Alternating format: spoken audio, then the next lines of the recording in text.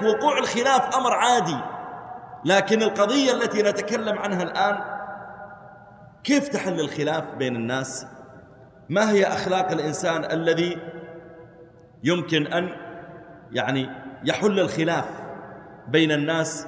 ما هي أنواع الخلاف التي تقع؟ إذا أردت أن يط... إذا أردت أن يقبل منك الحل ماذا تفعل؟ الأعمش رضي الله تعالى عنه رحمه الله لما كبر وكان من العلماء. وقع بينه وبين امرأته خلاف. فنادى واحد من أصحابه ليصلح بينه.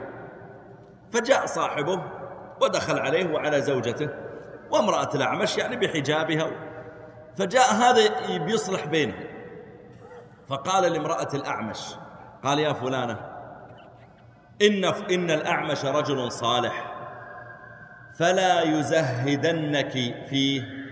يعني لا تزهدي فيه لا يزهدنك فيه. عمش عينيه العمش هو النظر الضعيف جدا اللي ما يشوف إلا في النهار وشيء يسير في الليل ما يشوف. قال فلا يزهدنك فيه عمش عينيه ولا دقة ساقيه ولا ضعف ركبتيه ولا احتداب ظهره ولا كثرة نسيانه ولا نتن ريحه ولا قلة ماله. وبدأ يعدد والأعمش ينتظر صفة حلوة. ترغب المرأة في ما جاب هذا ولا صفة. يقول فرفع الأعمش إزاره وضربه. قال اخرج. فوالله قد جئنا بك مصلحا لا مقيما. أنا ماني بعبد بتبيعني جاي تقيمني. لقد أطلعتها على عيوب هي ما انتبهت إليها. هي عجوز مثلي. ما أنت نبهتها على عيوب هي ما انتبهت إليها. لقد أطلعتها على عيوب هي ما انتبهت إليها.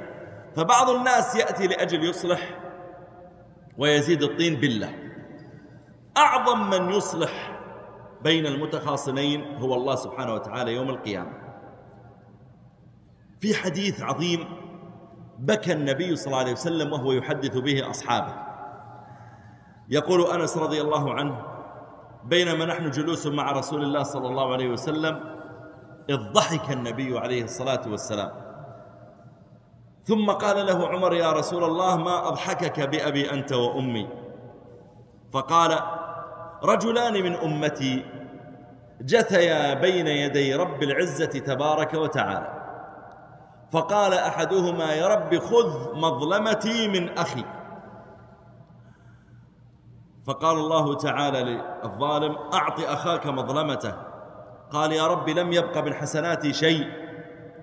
يبدو أن هذا الظالم عليه قضايا كثيرة للناس. ويوم القيامة لا دينار ولا درهم بالحسنات والسيئات. فهو قد شتم هذا وضرب هذا وأكل مال هذا واغتاب هذا واتهم هذا فيعطى هذا من حسناته وهذا من حسناته ثم فنيت حسناته. فيقول الله تعالى أعطه من حسناتك حتى يرضى. قال يا رب ما بقي من حسناتي شيء. فيقول الآخر المظلوم يا رب فليأخذ من أوزاري. يا رب عطه من أوزاري. عندها دمعت عين النبي عليه الصلاة والسلام. قال إن ذلك ليوم عظيم يوم يحتاج الناس إلى من يتحمل عنهم من أوزارهم. الآن يصلح الله تعالى بينهما يصلح بين المتخاصمين. يقول الله تعالى للمظلوم اللي يقول أنا أريد حقي. يا ربي فليأخذ من أوزاري حتى يعني أرضى. أنا لي حق عليه. ما أعطاني إياه. فنيت أموال الدنيا وذهبت. لكن يا ربي أنا لي حق عليه. يعطيني حقي. فيقول الله تعالى للمظلوم ارفع بصرك. قال فيرفع بصره فينظر في الجنان. فيرى مدائن هو بقصر قصرين مدينة. مدائن من فضة وقصورا من ذهب مكللة باللؤلؤ. فيعجب إذا رآها. قال يا ربي لأي نبي هذا؟ لأي صديق هذا؟ هذه أكيد نبي من الأنبياء. هذه أكيد لصديق من الص... لأي شهيد هذا؟ فيقول الله تعالى هذا لمن أعطى ثمنه. قال يا ربي وما ثمنه؟ ومن يملك ثمنه فيقول الله أنت تملكه. قال يا رب كيف؟ قال بعفوك عن أخيك. فيقول يا رب قد عفوت عنه قد عفوت عنه. فيقول الله خذ بيد أخيك فيدخلان الجنة. ثم قال النبي عليه الصلاة والسلام فاتقوا الله وأصلحوا ذات بينكم فإن الله تعالى يصلح بين المؤمنين يوم القيامة. هذه يا إخواني فضيلة عظيمة لمن يقوم بالإصلاح بين الناس. فضيلة عظيمة لمن يقوم بالإصلاح بين الناس. يقول الله تعالى لا خير في كثير من نجواهم. الأسرار التي يسر بها الناس إلى بعضهم البعض. يقول الله تعالى أكثرها ما فيها خير. تجد الواحد أحيانا إذا أراد يغتاب كلم فلان لوحدهما ليخبره عن كذا.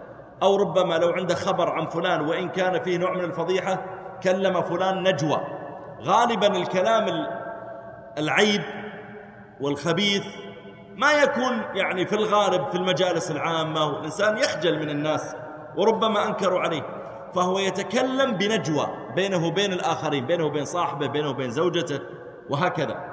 فيقول الله تعالى لا خير في كثير من نجواهم إلا من أمر بصدقة واحد يجي عند فلان الغني ويكلمه بينه وبينه يقول ترى جارك فقير أحسن إليه أنا ما أريد أن يتكلم أمام الناس حتى ما يحرج الفقير لكن أتكلم بينه وبينك ترى يستحق الزكاة. إلا من أمر بصدقة أو معروف يأتي ويطرق عليه الباب بينه وبينه ويقول يا أخي أنت تغيب عن صلاة الجماعة. ما نراك في صلاة الجماعة. يا أخي أنت تقصر في تربية أولادك أنت تعق والديك. إلا من شوف هذا الكلام دائما يكون بالسر. لأنه نصيحة إلا من أمر بصدقة أو معروف أو إيش؟ آه. وهي أعظم من الأولى والث...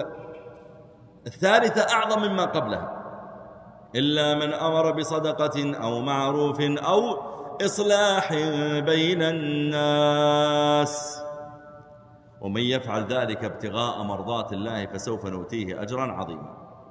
يقول أبو الدرداء رضي الله تعالى عنه وهو يتكلم عن فضل ويروى عن أنس فضل الإصلاح. يقول من أصلح بين اثنين جعل الله له بكل كلمة كعتق رقبة. من أصلح بين اثنين جعل الله له بكل كلمة كعتق رقبة. هذا ليس حديثا لكن من قول الصحابي. ويقول النبي عليه الصلاة والسلام في رواه البخاري كل يوم تطلع فيه الشمس. لما ذكر النبي صلى الله عليه وسلم أن على الإنسان على كل سلامة من الناس صدقة. يصبح على كل سلامة من الناس صدقة. الصحابة قال يا رسول الله السلامة هو المفصل. يعني الواحد يوميا لازم يتصدق بثلاثمائة وستين صدقة قال يا رسول الله أينا يستطيع ذلك؟ فعدد النبي عليه الصلاة والسلام عددا من الصدقات التي نستطيعها ما فيها فلوس. قال أمرك بالمعروف صدقة ونهيك عن المنكر صدقة وحملك لمتاعك متاع صاحبك صدقة وإفراغك من دلوك في إناء المستقي لما تستخرج دلو من البئر ويأتي واحد متأخر وتقول يلا بقدمك على نفسي هذا صدقة تبسمك في وجه أخيك صدقة وذكر منها قال وكل يوم تطلع فيه الشمس تعدل بين اثنين لك صدقة. يعني تصلح بينهما بالعدل تعدل بين اثنين لك صدقة.